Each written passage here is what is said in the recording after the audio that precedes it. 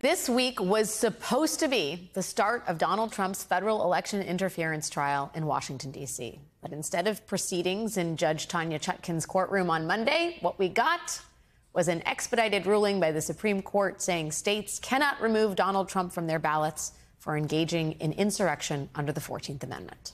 And today, the court announced that it will hear oral arguments over Trump's presidential immunity claim seven weeks from now, on April 25th, which is the very last day of the court's term.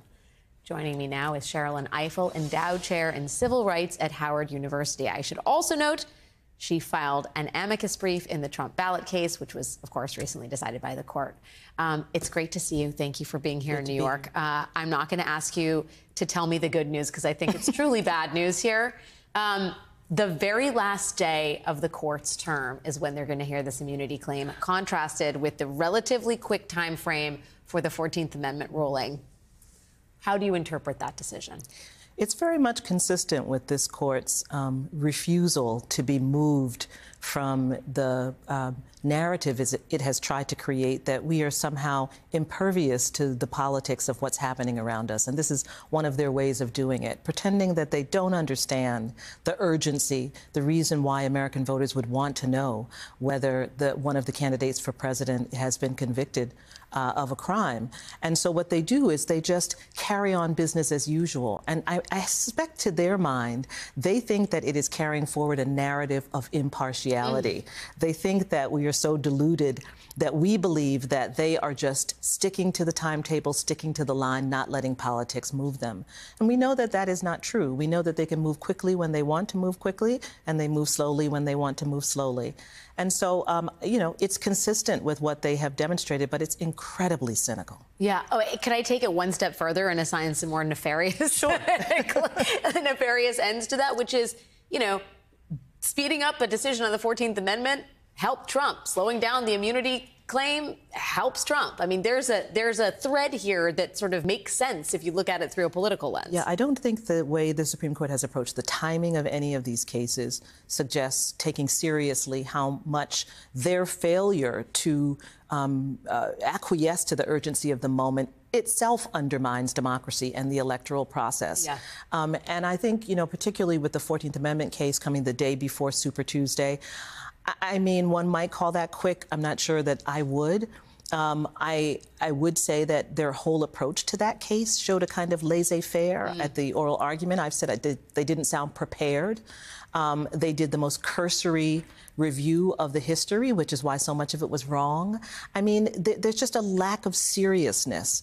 And I think, Alex, I've said this before the moment that we're in in this country, which is a time of democratic crisis, yeah. requires us all to be big you know, to be bigger uh, than what we were and to meet the moment.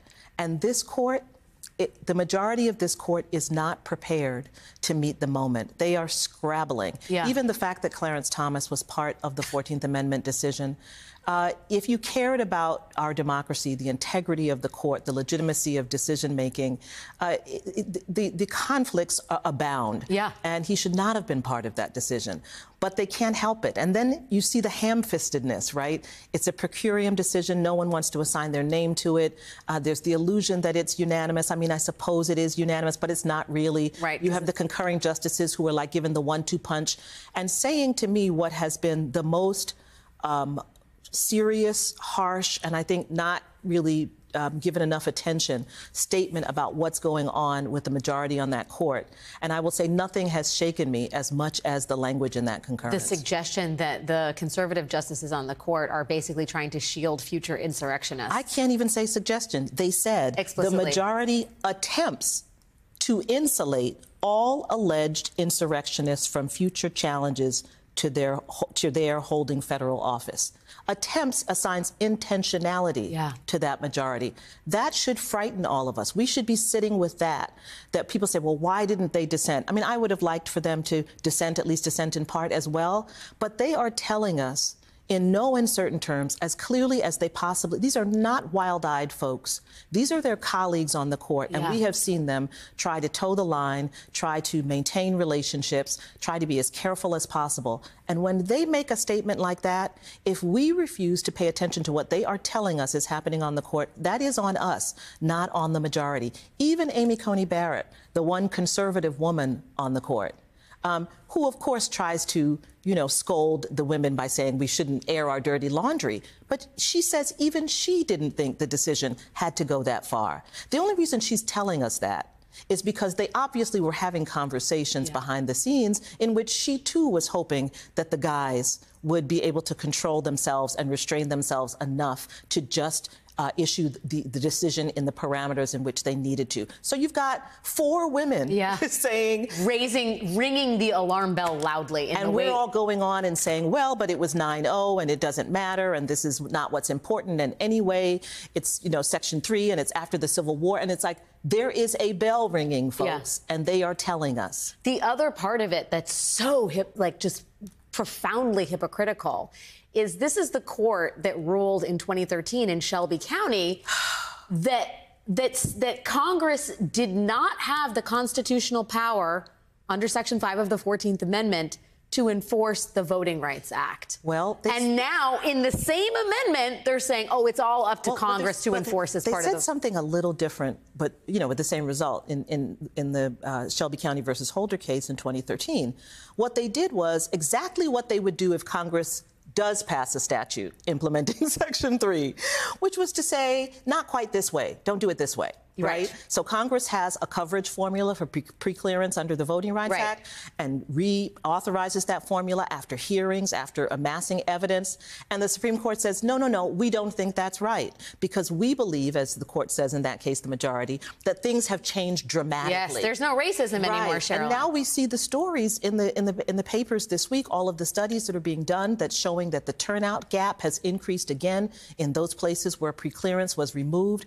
They don't know better. Congress does know better, which is why they have the power. So even when the court concedes that Congress has power, then they then they proceed to tell Congress how to use that power. In fact, in this In this one, too. right, they said it has to be legislation, and that legislation has to specifically say this and that, right? So it's a power grab in every way, and it is deference to Congress in name only.